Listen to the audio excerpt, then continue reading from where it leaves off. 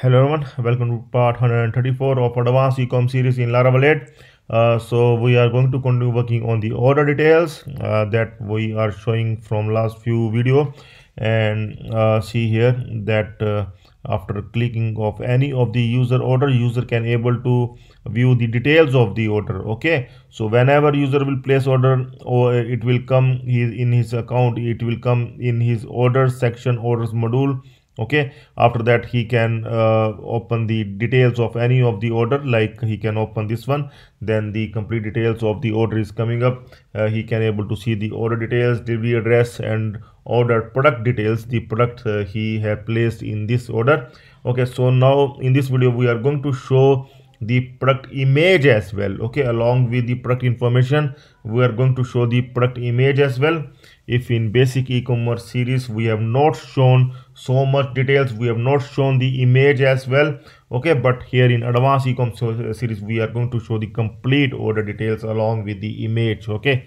So in this video we're going to show the product image as well in the order details okay? So let's start so first of all we are going to create so all these files we are going to close that we have uh, worked on in the last video okay?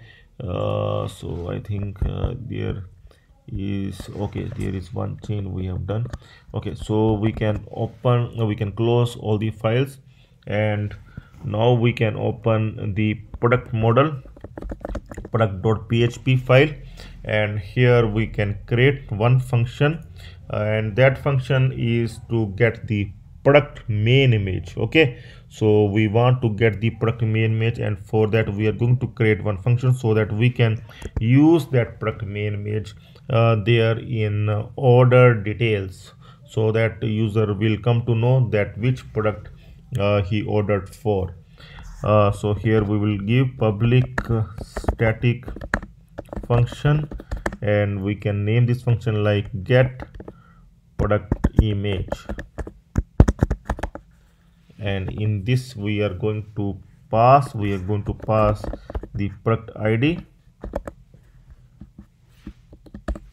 like this.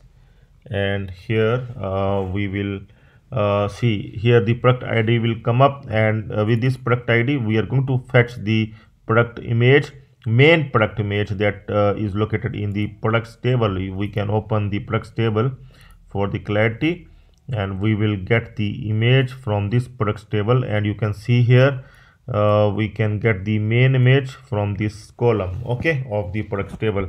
So we are fetching this one. So with this product id we can able to fetch this main image.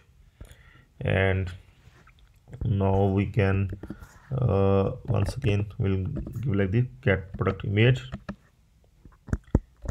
from the product model and only product uh, image only main image is required. So we can select the main image only. Uh, no other column is required. So only the column that we require we will just select that column. Where id is dollar product id so we can uh, just use first along with the toArray. Now every query we are converting to toArray uh, so that we can get the result in array only. And uh, we can check once here. And but uh, but we need to call this function. Okay so no issue. Uh, we can uh, use like this get product image.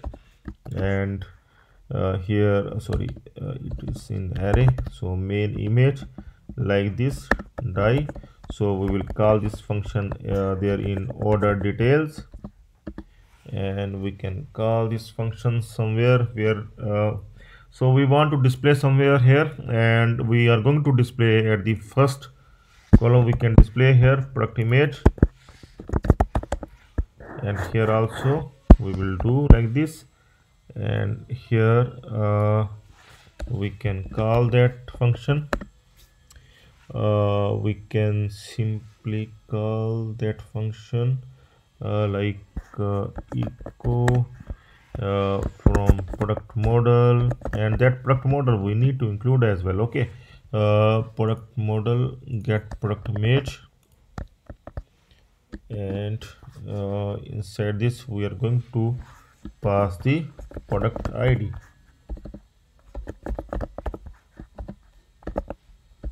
like this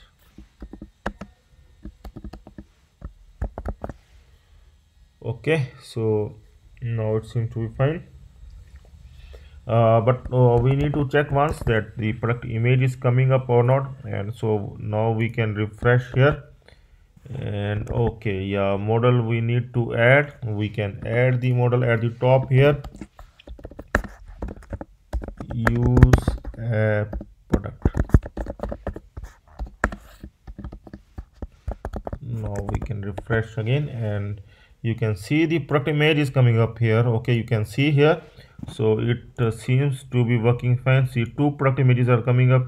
One is this one and one is this one because it's in loop. So that's why okay two product are there. So two times it is displaying. Uh, so now uh, we can simply uh, return this one. And we'll remove die now now we are returning the product image and uh, we can display here. Uh, so we will pick this one in uh, one variable get product image variable or uh, we can simply uh, make uh, another variable if you want some another variable. Okay no issue. We can keep it like this. And after that now we want to display it here. And for displaying we will require image tag tag this time. Okay so image src and uh, check once that where uh, our images are stored in our project. We will open the project folder. Htdocs ecom public images product images and here uh, so we are going to display the small uh, product okay here so we will pick the small path here. Uh, so we will use that asset here asset images product underscore images.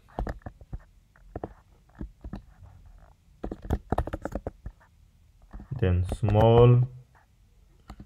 After that uh, we can do it like this.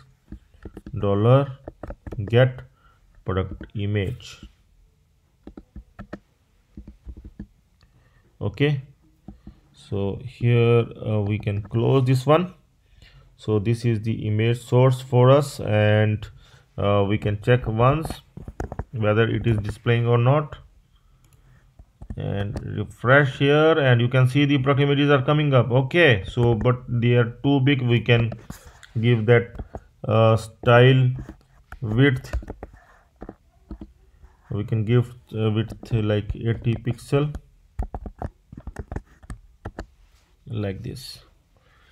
Okay so now it seems to be fine. Product image product code product name product size product color and product quantity.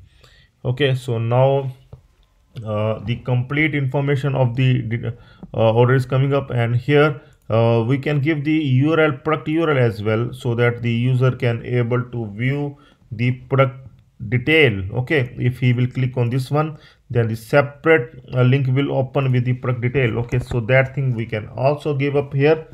And we for that we will check the url uh, once uh, that this is the url we want to open. Okay so that is the simple enough. Uh, we will give the link as well. It's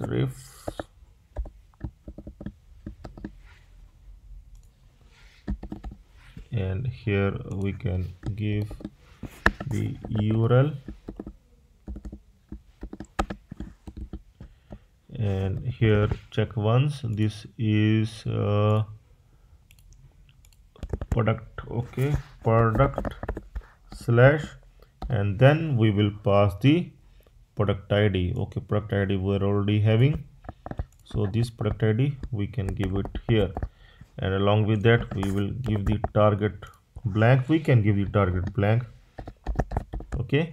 So that uh, the product will open in new window. Okay? So now we can close this one and we will refresh this one. And you can see uh, we can user can check the order details and you can uh, user can check the ordered product details. These two products he has ordered for and he can check the details as well after clicking on this one see the product detail will open okay product page will open okay? So he can open the products as well okay? So now we able to show the product images along with their links in the order details. So the complete information is coming up now. Uh, so user can able to assess the complete information of all the orders. He can able to check okay? So so now it seems to be pretty much fine. So now uh, this order section uh, at user panel is over. Uh, we uh, can able to user can able to assess his orders details. But now we will do this orders module in admin panel uh, because the admin is required the complete order details uh, so that he can process them further uh, so in next video we are going to work on the admin panel to show the complete order details to show all orders and the details of the order. And in uh, further videos we will also uh, will work on the order invoices as well and we'll do the shipping module as well okay? So stay tuned for that. So that's all for now. And if you have any queries you can surely contact me and do join this Stack Developers channel to get this code okay to get the full support along with the other code as well okay. So do join the stack developer channel so uh, so that uh, uh, you can able to get the code as well okay. So that's all for now. Have a nice time. Goodbye